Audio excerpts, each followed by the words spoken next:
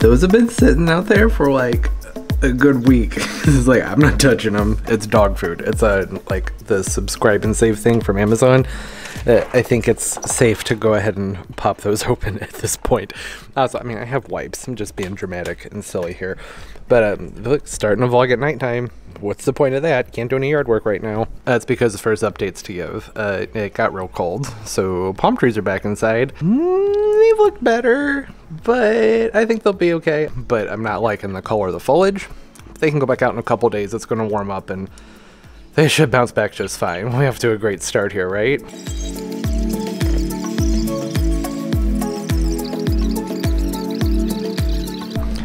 Want to see something real gross? It's the next day, by the way. Because why did I start the vlog at nighttime? That didn't make any sense. Also, I'm in my laundry room. Expect some parrots screaming.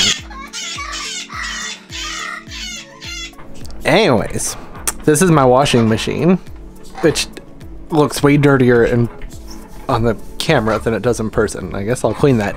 Hasn't been draining well, so I need to clean this I hate doing this. It's so gross. I don't know why I brought you along for it. Not a lot of stuff going on right now, so figure why not. But this is that's that's not gonna work. What's going on here? Well, it actually isn't that dirty, but there was a uh, gum wrapper and a rock in there. So uh, that's what the problem was. I pulled this out and water just started ugh, everywhere, which I feel like is probably dangerous. Wouldn't you agree?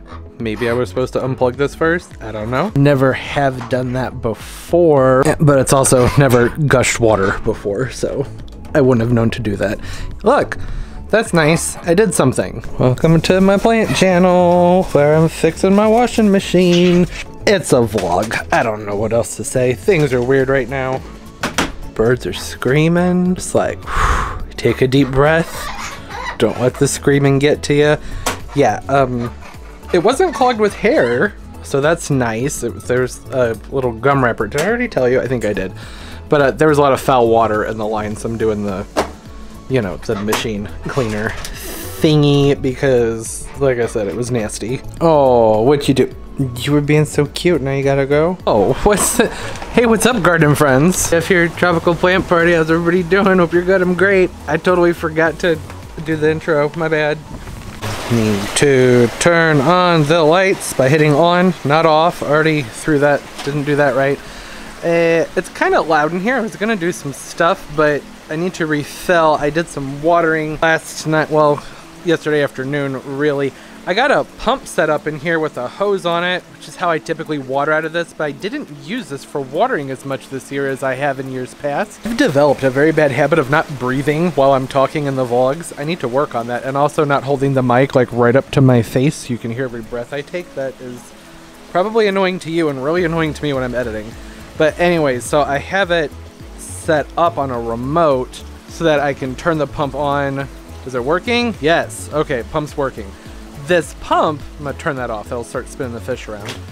This pump, I don't buy like expensive pond pumps. I haven't ever found them to work better than just the super cheap ones from Amazon. That's with some exceptions, of course, but for the most part, these little guys that don't have a name, but that's what it looks like, those have held up wonderfully. But this one in particular, starting, I don't know, like a month ago, sometimes I have to take it apart and give the impeller a few spins and put it back together, which is sort of annoying, and that's why I put it on a remote control so I'm not constantly unplugging it and plugging it back in. This, it's, there's no point to this, or any of this. We just vlogging. I'm gonna just say that it, I have no direction for this vlog this week, just like last week, still kind of in a waiting place. Um, this mangrove planter not working out. I think that's partially because when the water level dropped, just started filling with water. The mangrove is still alive, but I'm gonna need to do something else with that and then get this refilled, which takes a long time, so that's not gonna be part of the vlog. But one of the reasons I was using the pond water to water, uh, I used to always only use the pond water to water the plants, but this year I tried to use more tap instead of the pond water because I thought it might help with the pests a little bit.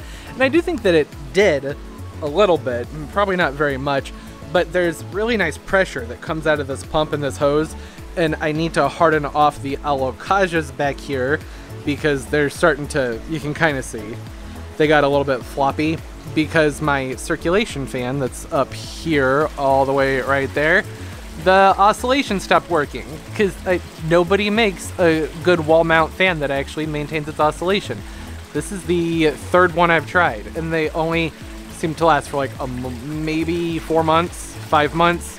I the first one I had lasted two years and it was fantastic. And then when I went to return it and talk to the manufacturers and whatnot, they said that it was weird. They couldn't believe it lasted two years, and I was like, "There's a great selling point for your product." I've been trying other ones, but I think I'm gonna go back to. See, that's neither here nor there. I don't need to worry about that this year. The point though is that without that fan moving back and forth, it's not moving the foliage around like it's supposed to. The whole point of that, I've when I did the video about moving the plants outside, is having something that keeps the foliage moving a little bit, not constantly, but at least you know an hour or so a day, not blasting directly on it, but just like I said, a little bit of movement helps keeps the plant nice and strong and sturdy and just better prepared to go outside so that when they go outside they don't go into total shock. Back to the alocasias back here. So uh, they had like three weeks of not having any airflow back there, and there isn't typically a ton of airflow back in that direction, anyways. You can see I need to clean some dead foliage up. But so when I watered, I decided to use the stronger pressure so that I could uh, give the foliage some nice movement a little bit more easily. Now I've pulled the plastic down from the back wall of the grow room so I can just walk by it every day and kind of just like walk by it and I just sort of like give the foliage a little tickle with my hand. That's helpful either way when I move these out, they're probably still going to flop their foliage off. They usually do, like within an hour of taking them outside. They're just very delicate and annoying in that sense, but they're they grow so fast that I'm usually just like, whatever.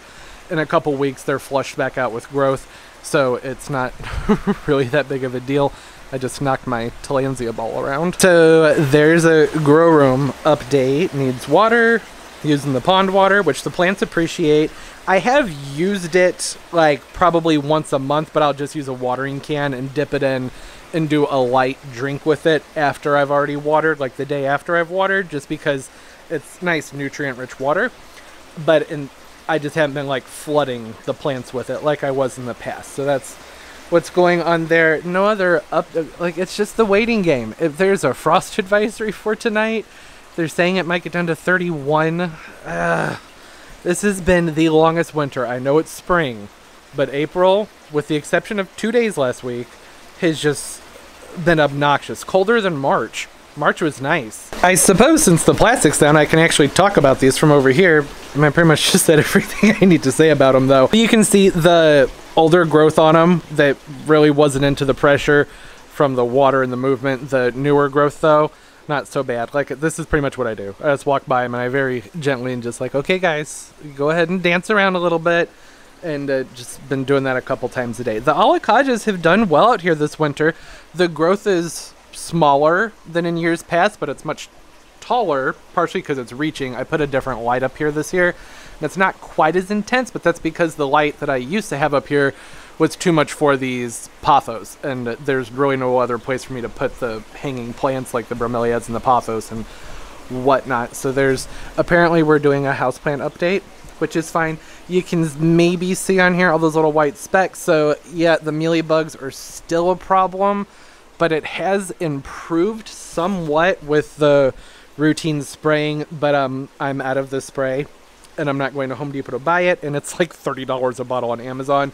So I will be putting together like just a, a homemade peppermint oil spray with a little bit of soap in it, and uh, first making sure to hit them down with rubbing alcohol first. So it's I wouldn't say under control, but it's better than it's been in the past. And I think I talked about this last week with the Adonidia palms. Once I pull the plants outside, just being outdoors in nature with the better airflow and the birds and wildlife and whatnot, usually the mealybug issue tends to kind of resolve itself. But I will still be giving these a heavy blast. Anyways, like I said, the alocasias are doing okay. Look how big these trunks are. Getting some nice big trunks on them. These will put out larger foliage when they get outside and into the ground. That will make a really big difference too. For winter, I just store them like this. I could just store them dormant. I did that with a couple of them this year, and we'll see how they're doing. I did that over here with this other alocasia stored it dormant. I threw it in a pot about, I'd say, two and a half weeks ago, and it started to put up some new growth here. I'm going to try and get a little bit closer to it so you can see it. This is one from last year that it was in a lot of videos, and each video I was like, what's it called? Then people would tell me, and then I would forget. I'm back to that place. It has really pretty purpley undertones on the foliage and a nice glossy outside. You can see that was one of the first leaves it put out, so it's got a little bit of damage on it. But each one that comes up is a little bit better. The corm down there's nice and sturdy. The foliage is nice and sturdy, so I'm not really too worried about it. One thing I did notice is that my Adansonii is growing very well. It's all the way over here to the back side of this wall, and it is like you can kind of see where it comes through here. And it's I have it the pot that it's in is all the way back over by the Areca palm, so it's grown all the way from over there and come around and back over to this side. So it's very happy with these conditions. And uh, everything else is just kind of like, ugh, hanging on, ready to get outside, just like me. I just want to go outside. There are a few things I can do outdoors today, but, um, oh, is this Dracaena's not getting eaten by that Adansonii, is it? It kind of is. Okay, well, I'll need to do something about that. This is okay. That's DE powder. That's good. I was worried those were mealy bugs. They're all going to keep getting their treatments and whatnot to help hold off the mealy bugs. But there are a few little things I can do outside. It's kind of chilly, but that's all right. It'll still be nice to be outdoors. Oh yeah, I need to put salt in the pool too. I have all this salt sitting here. I need to. That's not very entertaining. I'm not going to bore you guys with putting salt in the pool. We finally had a good amount of rain, but it wasn't like there's been rain in our forecast, but it keeps missing like my area just kind of keeps going around it. So I've actually had to spend a lot of time out here watering for April. But uh, the look at what happened. It washed the soil out from this berm down in here. I was a little bit concerned about that happening when I planted these. I intentionally planted the laurels up a little bit higher just because I was concerned about there being potential for rot and whatnot. And if like there's like an inch, maybe two exposed of the root ball, like that can be okay, but you want to mulch around it. Ideally, that's you don't want to do that though. I should clarify that. That's only if you're working with like really damp soils that aren't draining very well. And this berm has been pretty well amended over the years, but it was created from just clay, just clay that doesn't drain. So, but it's also a berm, right? And those tend to drain a little bit faster because they're raised up and exposed. Anyways, that's not the whole point is that it all washed out. So I'm thinking, I don't know how I'm going to do this. I won't be able to do it right now. For now, I'll just grab a rake and pull the mulch up around the root mass so that those aren't exposed like that. But I'm thinking what I may have to do for a more permanent solution is to like get some little pieces of flagstone or some type of just flat stone and put those up a little bit around the bases of each of these and get that filled in just to help retain things in. Or I could go ahead and pack the soil back in and um, peg in some chicken wire or hardware cloth. That would help with the erosion control in that area. I don't think I want to pull them up and redig the holes? I mean, I guess I could, but they've. I feel like that would be a bit of a setback, wouldn't it? Maybe not. I don't know. Let me know what you guys think down below. Since they've only been in the, they haven't even been in the ground for a full year, I don't think that that would be a horrible thing to do because it's not like they've rooted out and established themselves yet anyways. You know, it's about, you know, a 2 to 3 year process with shrubs, especially laurels. They're not the fastest growing things, depending on where you live. Uh, in colder climates with hot, hot summers, the at least with the skip laurels and the cherry laurels, they don't tend to grow really, really fast. Whereas up in like the Pacific Northwest, these would like just take over and create a great big massive privacy wall in no time. I don't really have that down here. So that's what's going on with that stuff. A little bit of an update, I suppose, since the garden tour that was a few days ago. And uh, I don't think that much else has changed. I need to do some pruning though. Yeah, remember if you saw the garden tour, I was talking about this area here. I really need to get this honeysuckle vine cut out of this hydrangea tree get that hydrangea tree cut back. I probably should have gotten the hydrangea tree cut back like maybe two weeks ago, but it's still at a point in its growth where it's safe to do it. I think the leaves are like just starting to flush out. You want to do it right before they flush out. Oh, it might help if you can see what I'm talking about. So you can see how the foliage is like actually out there. It would be best if it was like right before it got to that point, but it's all right. There's still some time to do that as long as I do it like, well, right now. All this stuff over here, the honeysuckle, and then there's some bush honeysuckle and some other things coming up from the other side. So I'm going to get to work on that and be right back. Oh, what a drastic improvement. garden transformations happening over here. Uh, no, well, I got all the honeysuckle cut up and then the bush honeysuckle from the back. That was all over here, and now it's down here and over there, over here, and cut that hydrangea back. Actually, I think I need to get the top a little bit more because if that's bigger than the rest, it's going to come out and shade the plant, which would defeat the purpose of getting this cleaned and tidied so that the sun can get in there and the plant can grow. Uh, I do need to do something with this trellis here. There's one issue. I was going to just throw stakes in the ground and let that be the case for now. Just have that do everything it needs to do. But I did notice there's a drain pipe right here. So I'm not sure where it's going to be safe to stake this down all the way. So you can see this thing's really flimsy. It was crazy cheap. It's like 25 bucks off Amazon. I just got it because I wanted to test if I like the idea of having a trellis here or a archway arbor. And uh, I do like it. And uh, I would prefer to just build something. I think that would make more sense, but not, you know, can't really do that right now given the current situation, you know, not going to the hardware store and buying materials. So I was like, well, I'll just put some stakes in the ground and zip tie it to each end and then paint them black if I have black paint. If not, then whatever. It's fine for right now. If there were any time for adaptability and some flexibility, then I think that this is it. So I'm just, you know, this is can work with this, but um, I'm not sure. I may need to get a hand trowel and kind of dig this area out and see what's going on down there. Okay, slight improvement. I, I did want to note, I think I called the weedy stuff over here bush honeysuckle. It's not even what this is. The bush honeysuckle you can identify. The only reason this matters is because it's an invasive. Bush honeysuckle will be hollow on the inside here, which this is not. I cannot remember what this stuff is, uh, but it's not bush honeysuckle. I have some bush honeysuckle in my front yard. Uh, this might just be one of the native honeysuckles. I know it's a honeysuckle because it gets the flowers on it in the springtime. Whatever the case, I don't it's it's too much for up here. So that's gone now. And I kind of just did my best sort of piecemealing this situation together. And I only had one of the big stakes, so I was like, we're just gonna make it work. Came in here, got as much of the honeysuckle that I wanted over here cleaned up. It hid, it was originally planted over here, and it over time had mm, sort of wandered this direction. You can see how it does that just from looking at this right here. So this was a spot on the wall where I had some calathea sitting last summer and some soil spilled out of the pot and there were drip heads. They're still over here, just they're like laying down. Drip heads, they were misters, so they're more micro emitters than drip heads, but either way, kept this area nice and moist and see what happened there? Got a new plant going. So I could actually take my clippers if I wanted to and cut this section right here and pot this up and then I'll have a new plant to work with, which would be, I mean, that's fun, right? But not really necessary.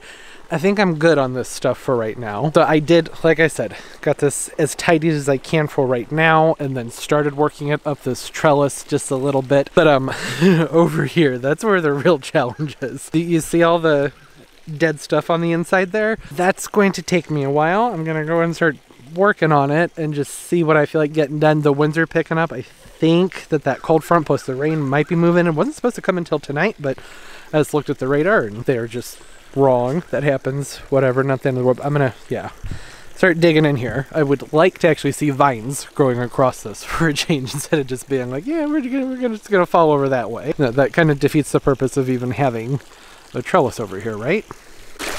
well, this side doesn't really quite match the other, but that's okay. I didn't want to cut the whole thing out. It's getting ready to bloom, and it's just, it's one of my favorite plants with the spring blooms. It's not there yet, but I just, I want to see the flowers. This was actually growing all the way over this wall and up into this bayberry here, which I was a little surprised by because I feel like I would have noticed that, but it was kind of laying down on the ground just below the side of this wall. So that's, I mean, hey, it's good enough. It'll do for right now. Here's what happens with vines, so I can explain what happened. Getting all the brush out from the inside is tricky because you kind of risk, I kind of risk when I'm doing this, cutting them from the base. Like it's hard to tell which end is which. Do you get what I'm saying? So uh, I, the first snip I made, I went in there and I made a cut and went, oh no, I forgot to track where that was going, and it was going to this beautiful, really long, exquisite piece of vine that has lots of buds on it, and I could have wrapped all the way across the top here, and that's why I knew it. As soon as I made the cut, I went, no, slow it down, moving too fast, you're making mistakes. So that's why I was like, you know what, just tap the brakes. I'm gonna go ahead and let it bloom, even if it just looks like a total hot mess that's fine. I want to see the flowers. So when it's done flowering, I will actually probably, since this one is just such a mess in there, I'll probably cut it from fairly like I don't know, I don't want to say high, like 50% up. See how much that loosens things up and just keep cutting until I have it untangled and until I can see all the what's actually dead in there and then retrain it up here. That they grow so fast once they're rooted down into the ground established. I could really probably cut it all the way to the ground and it would recover this arch here, no problem, within like, I don't know, a month or two wouldn't be that big of a deal. That's why with that little piece that's over here, this guy that I was just showing everybody, I don't really see a reason to pot that up and save it because this this stuff grows very um, aggressively. Don't see a reason for it, though I do have some downspout trellises that might look good with this honeysuckle on them. I don't know. That's something to think about for another time. I'm just glad to have this done. I still need to clean up. There's just stuff everywhere. I don't really know what I'm going to do with it, but I, will just find a spot in the yard where I can start making a pile of all the lawn and yard debris, and that'll have to do for now. I need to straighten this guy up too. Oh, I forgot. I need to top that off. Why? That's an, my hands are frozen. You might be wondering why did I put the honeysuckle over here if it's so hard to control anyways. When I got this, the major wheeler had just come out. This is a long time ago. It was being sold as only getting six to eight feet. Like it was some kind of magical dwarf honeysuckle. And I was like, that's cool. I want that. Or maybe I was like, maybe it's a bush. I don't know. The description just wasn't very good on it. Uh, and then like a couple years later, it's Wayside Gardens where I got it from. I think it was Wayside. Could have been Parks. I doubt it was Parks. They're mostly seeds. Anyways, whole point. A few years later, that that changed in the descriptions went to oh no, 20 to 30 feet, and I was like, yeah, no, I I noticed. Y'all definitely had that one wrong. So that's why it's even over here. But I like it. It's my favorite honeysuckle. This whole area needs a complete makeover. This is sort of a step in that direction. I'd prefer to just build an arbor here. I'm not going to go to the store and get wood to do that though. I mean, if there were an emergency, I need to like fix some plumbing or something. Sure, I'd go to the hardware store, but not to build an arbor. That doesn't make any sense, but eventually I'm going to get rid of the bench here and I was going to mulch this whole area, but I'm actually thinking like a dark rock like lava or something might work better only because there's so much drainage that comes through here. I've told you guys before, these houses, they all wash down this way. And I think gravel would just be easier than having to keep top dressing with mulch every year because it's a big area. From down here all the way over, that's a big chunk of land. I would rather just kind of throw some gravel in there. You still have to add to over the years, but I wouldn't have to do it as frequently as I would with mulch. Uh, and then maybe, you know, imagine this is more of a blank slate with the exception of this buckeye here. Put some shrubbery in the back, like some laurels and boxwoods, evergreens with some I don't know, probably some sort of hydrangeas or something. I haven't put sunk that much thought into it. I mostly was just like, I need to handle the arch situation with the honeysuckle. That's just sort of a step into that direction. So that's what there's there's that whole update and why it was important to me to get that done. I did come back, not that it really makes a difference when things are this chaotic out here, but I did get things cleaned up a little bit. So while it still looks like a complete and total disaster, it looks like a slightly tidier and uh, more janky, actually less janky disaster. And I'll take it, it's fine. Look what I found. Okay, here's a better example of that bush honeysuckle. These plants are incredibly invasive. I think that they're from like Russia or something like that. And I think I can give a better example here of how the growth is hollow. There are other ways to identify it, but that's a really good way. See that? So the older growth, old wood, is typically hollow. Newer growth isn't. That's not going to be the case. And they do get really pretty white flowers on them, and beautiful red berries, which is what they spread by the birds. Spread them around. You can see the buds over here, kind of on this one. But the problem is that it just it absolutely takes over. It chokes out the natives and it's just not a great thing to have around. There's two different types of bush honeysuckle. I don't know which this is. It doesn't really matter because it's got to go. I won't be using any herbicides, but I will at some point here get in here and really just cut that down as far as I can. And I will probably take a torch up close to it and burn that growth back, and you have to repeat that every year for like five years or so. That's how aggressive this stuff is. They clear big fields by just burning them out, and you have to do it every single year. Even the fire, they're like, no, no, we're still gonna keep growing. They're a tough plant. If these were sterile, if there was a way to sterilize them, they would actually be a really cool landscape plant. They hold their green longer in the fall than any of the other plants do, and they're one of the first plants to flush out in the spring. So you get longer seasons of interest with them, and then they have those beautiful red berries and everything, but it's just not a plant to have around. When you see these, you gotta get rid of them, get them cut out because they will just absolutely take over. I mean, you can see, look at it, it's all the way down there. And I've cut this back many years and burned it back. And still, despite that, it's still I'm gonna, it's like, I'm tough, I'm gonna grow this plant. These are thug plants and they are really hard to get rid of. Oh, wait, here, some better. I should probably give you a little bit better way to identify these other than having to cut them out. They have simple opposite leaves. These will come out further than this nice glossy green on the top. You can see the veining there on the inside. And the undersides are a lighter, more glaucous green and they're fuzzy. So that's one of the ways to identify these if you have been wondering if it's a plant you want to get out and get rid of. Actually, around here they have little roundups in the springtime where volunteers go out with the botanicals and other places and hit up the parks and people gather and help clear these things out because they're just they're taking over. They're absolutely everywhere and they're really just not great because they spread really wide and then the ground stays bare underneath them. It's just not great for the natives. Gotta get rid of these things.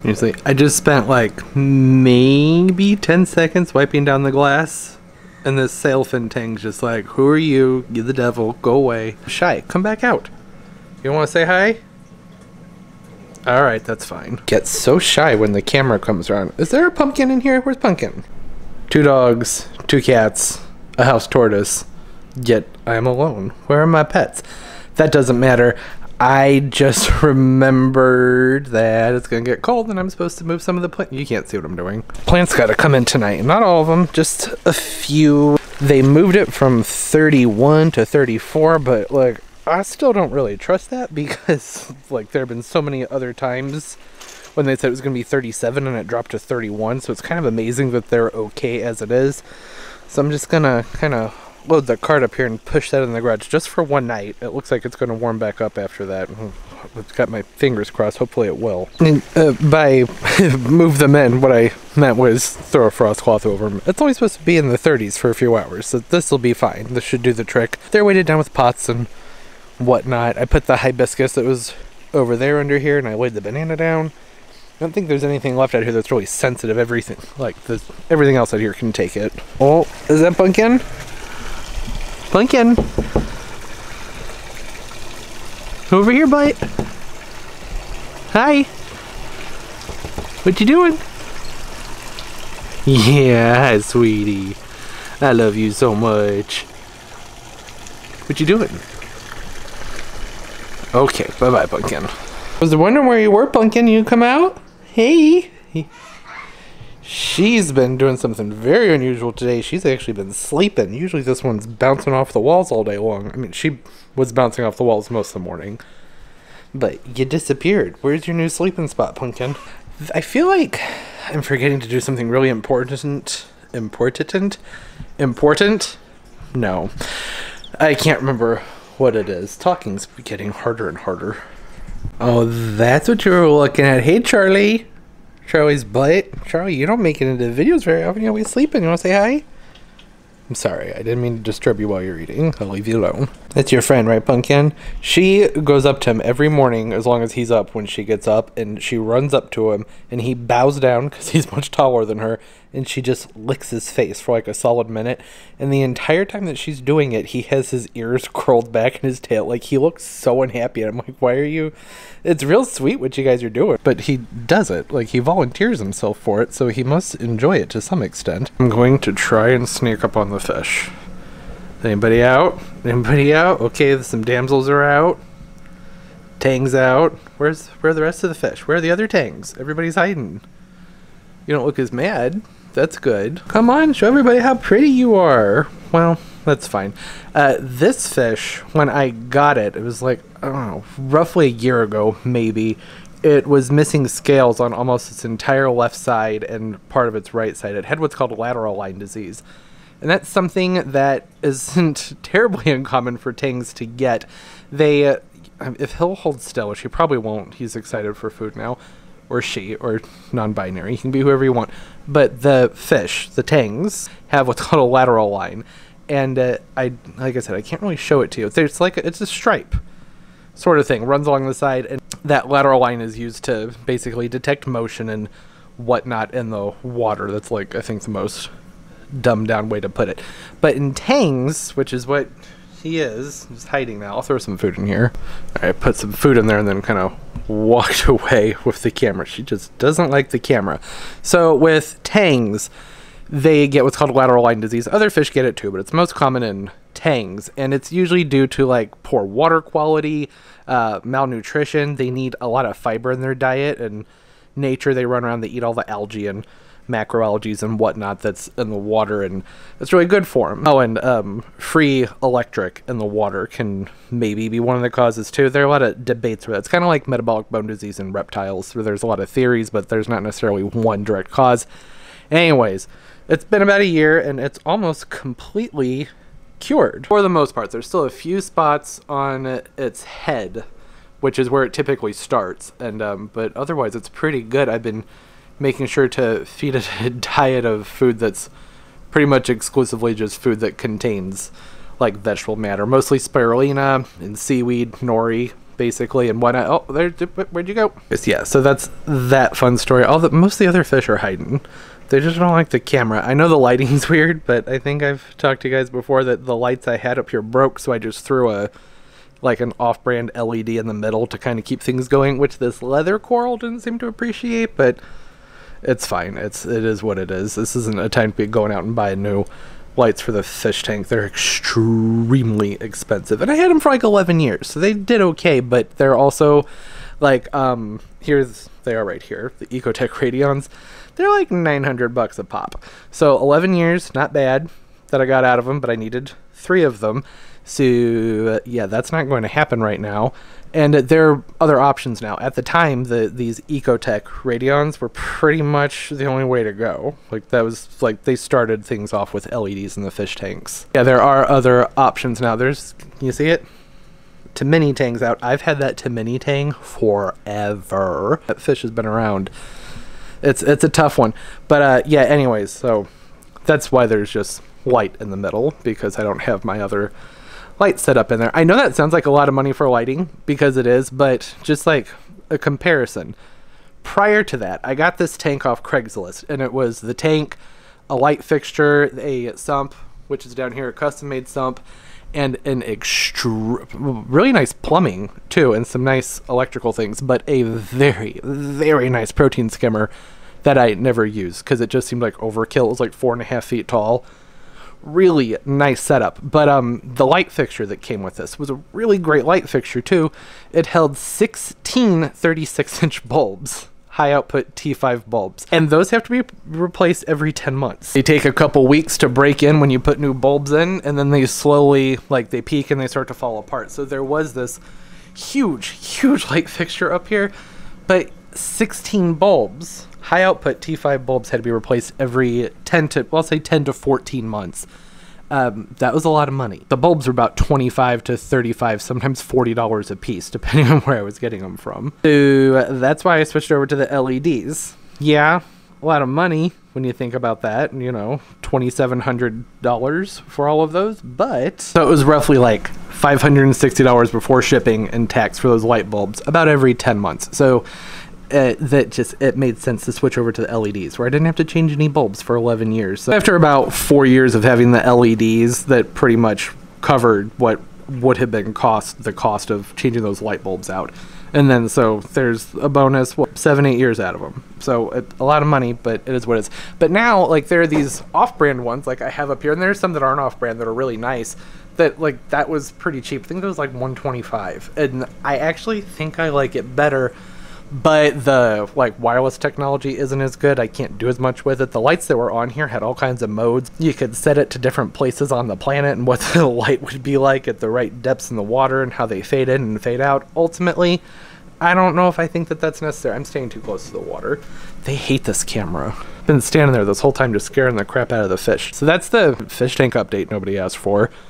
Uh, at some point, maybe I'll start bringing the camera in here with me when I feed, and they'll get more used to it because they really do not like this thing. Yeah, okay, that was fun. I'm gonna go back outside, do some plant things. And here's what I was talking about about using the water pressure to kind of move the leaves around a little bit. It's also useful for making sure to help not have dust and whatnot on the foliage, but it doesn't have to be done that often.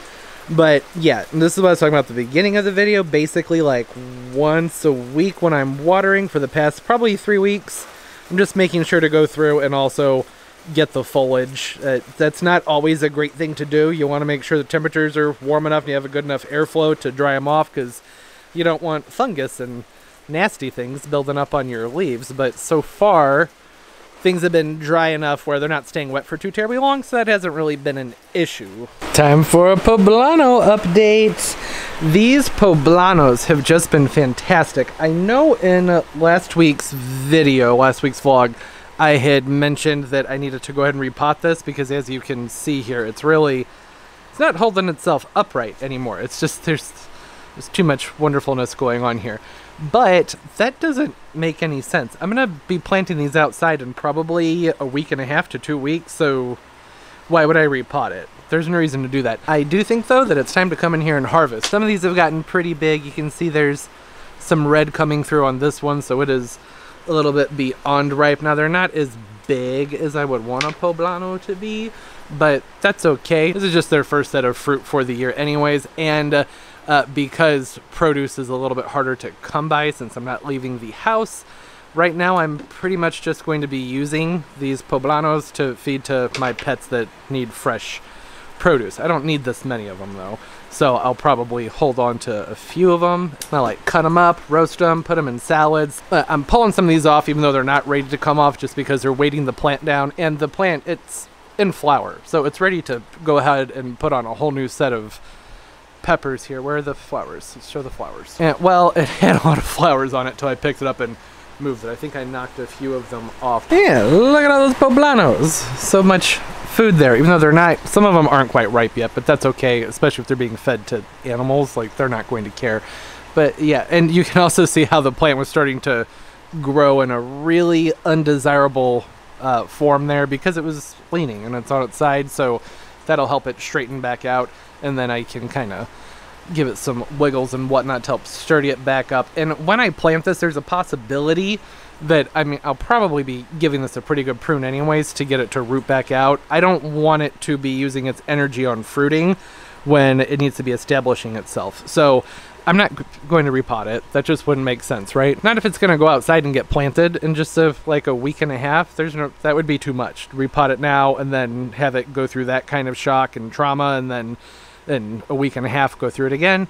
Doesn't make sense. Makes more sense to just cut these guys off of there so the plant can use its energy for its leaves and for its roots and uh, get ready to go outside. But yeah, even the biggest ones on here are still, they're still pretty hard. Not quite where I would want them yet. And, uh, you know, and these are for a poblano, not very big. They're bigger than I thought they would get being inside, but uh, uh, it'll do. It's fine. Like I said, I'm not going to be stuffing these or anything like that right now, so it's not that big of a deal. Hopefully when they get outside, though, they'll produce slightly larger peppers than this. Like, they don't have to be great, big, huge, normal-sized poblanos, but that would be nice, right? I could pop one of these guys open and hold on to the seeds, but I don't know. That doesn't seem necessary. The one pepper plant has been so prolific. I don't think there's a reason to do that. No, I don't think so. I don't need to do that. So not the final Poblano update, but got to finally do some stuff with it. It was the poor thing. These poor begonias, it was leaning over so much, it was shading them, which now this Amazel Basil is doing to everything else in here. If it were like March or February, I would go ahead and probably give this Amazel Basil another like 50% cut but I don't see a reason to. When, like I said, same with the poblano, it's going to be outside in just like a week or two. I'm that garden tour video that came out prior to this one. That was just filmed three days before this video. So if you've seen that, you can tell there's a good amount of growth between those two dates. So actually, I probably should come in here and give it a little bit of a prune. it's like it's actually it's up in the light fixture. Okay, maybe I'll, I'll go ahead and top that off. I'll do that when I'm done talking to y'all. I'll go ahead and just give it a little bit of a top, but it's really gonna need a bigger cutback. I'll get to it. Don't worry about it. It's fine. It's so exciting. All these months with this pepper plant growing, finally getting to cut them off, even if they are like wonkily ripe and unripe. That's okay. Uh, like I said, I'm just happy to have them off of there. What a difference using the wicking cord made for that plant. If you remember back in like, I don't know, February, January, whenever that was that I was talking about with the poblanos, how I was having to water them like pretty much every single day, if not every other day, because they would just wilt. Like as soon as that soil would dry out, they would just wilt. And I intentionally planted them in a mix that would dry very quickly because I wasn't sure how warm things would be in here this winter. I didn't know how bad the winter would be. Even with the heaters and everything, it's still a garage, even though it's insulated. If it's, you know, five degrees outside, then it's probably only going to be in the upper 40s to 50s in here. Luckily, that didn't happen very often. Actually, that didn't happen at all. It, I don't think it ever dropped below 60 in here. I'm pretty sure it didn't. If it did, it was because the door got left open for too long. Stayed pretty toasty, mostly in the upper 70s to mid 80s. So that made the pepper more thirsty. But what I was saying is that if it were in a really moisture retentive potting mix and the temperatures were cooler, then the plant would have just rotted away. So I aired on the side of being safe there with better drainage for everything. Hey fish, how y'all doing? But then I put that wicking cord in there. I have not watered that plant not one time since I put that wicking cord on there. It has just been growing and growing and growing. Same thing with the basil. They've been doing fantastic. Y'all, they want food. I want food. It's getting kind of late. I hope everybody's doing well. I'm going to wrap it up here. There are a few other things that I thought about doing, but I'm trying to maintain my voice a little bit. When the pollen gets high outside, my voice gets really hoarse and it's, it's so if I sound like something's wrong when I'm talking in these videos, I may have earlier, that was just me trying to conserve my voice. I don't want a sore throat right now. It's not great to have anything going on that's a symptom of what's going on. So I'm trying to just be extra careful to preserve that. And uh, so, yeah, and there's really, it's the waiting game. I'll be able to move the plants out, not all of them, but I think I'll be able to start rolling them out here in a few days, which is right after this vlog comes out. So that'll be a next week's vlog. Like I said, won't be everything, but it'll be a good amount of things. And then I have like lots of caladiums and cannas and things that I need to start potting up, but I need to move things out to make room for that. It's a whole thing. You'll see when I get to it what I'm talking. You don't want to know? There we go. Now there's a nice shot of a plant after I'm done doing the talking. But anyways, what's everybody been up to? Fun new shows? Getting things done at home? I got my washing machine cleaned.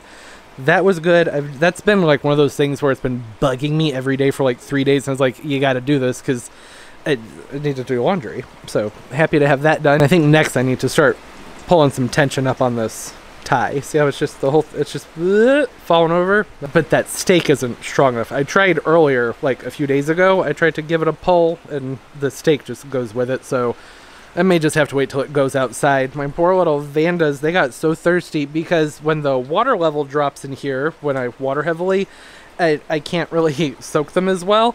And I was like, it's okay, I'll give it a few days. Water will just be that much more oxygen, oxygen, that much more oxygen rich without there being as much in it. But I totally, I didn't equip the, I was like, oh, but I can't water the, but that's not a problem anymore. They've gotten a soak, they'll be okay. I do want to take a moment to say thank you. Everybody has been so kind down in the comments. Well, not everybody. The majority of people have just been so nice. And it, that's such a nice feeling to get on and see that people are, you know, still having some positivity in them and some friendliness. Thank you to all of the, the majority of people who've been so lovely here and on Instagram and everywhere. That's a contagious thing. We all need to put that out there as much as possible. And it's going to get harder, obviously, to do that as time goes on. So it's going to be one of those things where I think that as a society, uh, by society I just mean humans, because this is a global situation we're going through, to be on top of reminding ourselves to try and spread some love back and forth because the negativity doesn't help anyone. Yeah, so again, thank you for the manyth time there. I appreciate y'all. Uh, I know this is a time of struggle. This is a rough time for people who already have high levels of anxiety and depression, or maybe you're struggling with addiction. And I won't go too far into it. I don't want to be triggering to people. There are hotlines and places to call if you need to talk. That's important. Don't be ashamed. There's no reason to be. Now, I hope everybody's doing well as well as possible. I came in here and gave this a little bit of a cutback. Look at how much of that I missed. I was just like a tornado moving through here. I missed everything. The new growth is come. It's neither here nor there. Everybody's doing well. Look at all the pink over here. It's making me very happy. These anthuriums, anthuriums have been doing so well.